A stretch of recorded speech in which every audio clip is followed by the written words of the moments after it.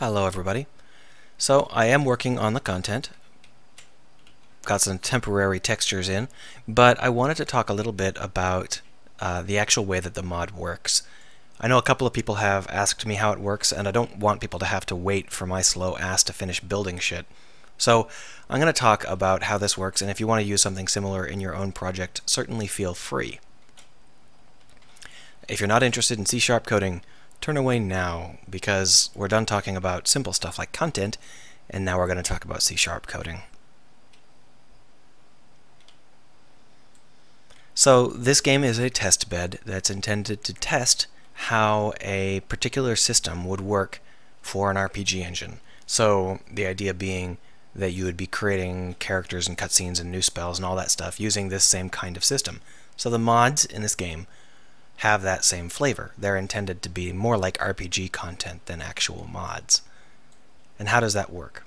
Well, I'm hoping that everyone is familiar with the inspector view here, which gives you access to all of the details. Whether you're editing a prefab or an in-world object, you can change these details to suit your needs.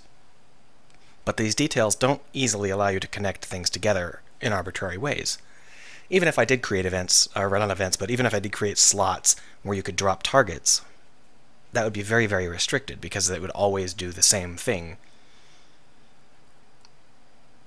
So what you do instead is you create these Unity events. Unity events are a very powerful tool where you can drop in whatever objects and code you need uh, without doing any additional coding.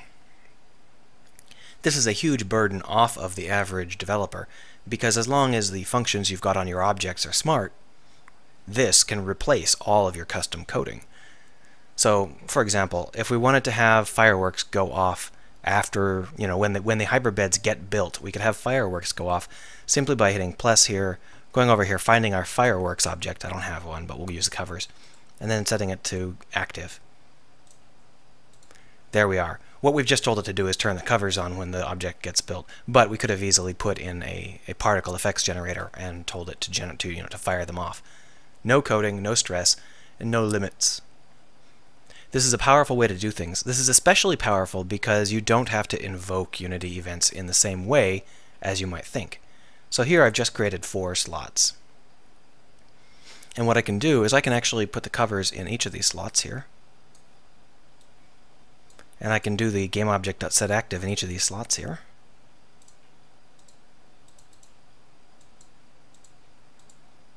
And I can have it flicker on and off.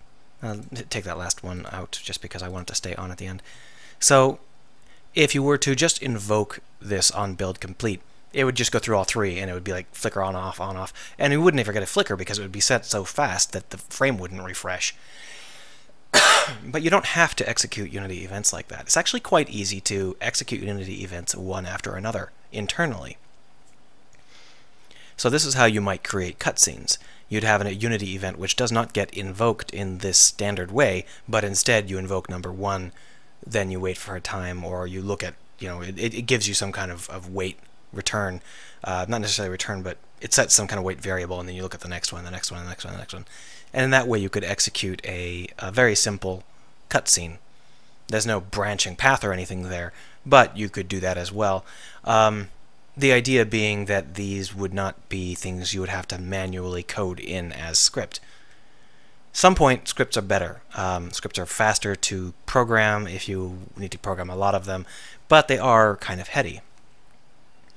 One of the most powerful elements of a Unity event that isn't, it hasn't been mentioned yet it lets you wire your functions in regardless of what they are. So normally when you're writing a mod or writing, say, a script that makes someone walk across the screen, stab another guy, and then say, ha ha ha, I win, whatever you need. If you build that script, you have to function, you have to understand where your function goes. You have to understand what you're overriding and how it gets called and all that nonsense.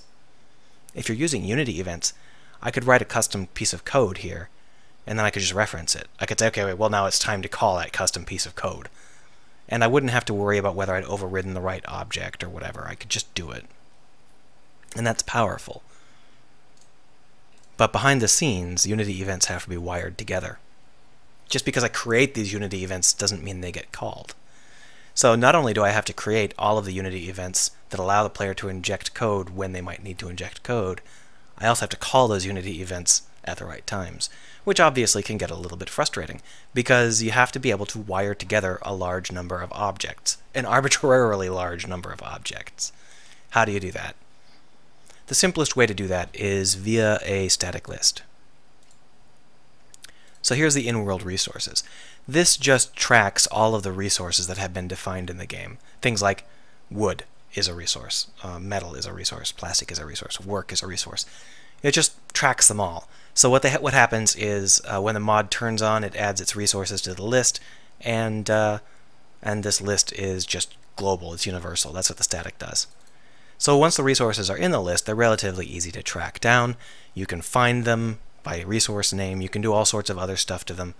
And all of the stuff in this universe acts on that same basic principle. The mods add themselves to a list. If I open up the basic fundamental mod, no, that's weather. That's mods. This mod, static list mods, and then what happens is when it starts up, it adds itself. See? Not difficult. And that's the core idea here is you've got a lot of these lists, these static lists of objects. And that allows you to track an arbitrary number of them because each object just signs up for whatever it needs to sign up for. And if you've got a functional system resource, then it can just sign up for its own, you know, it can sign up for whatever it needs to sign up for. In this case, the resources actually use a combination of events rather than signing up for a static list. It signs up for static events. Some advantages and some disadvantages there. I won't get into that. You probably won't need to do that. So that's the core idea. You've got static lists, and everything signs up for all the static lists it could possibly need to be in.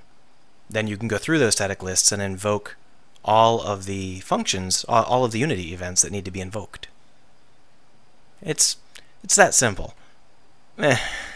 It's not that simple.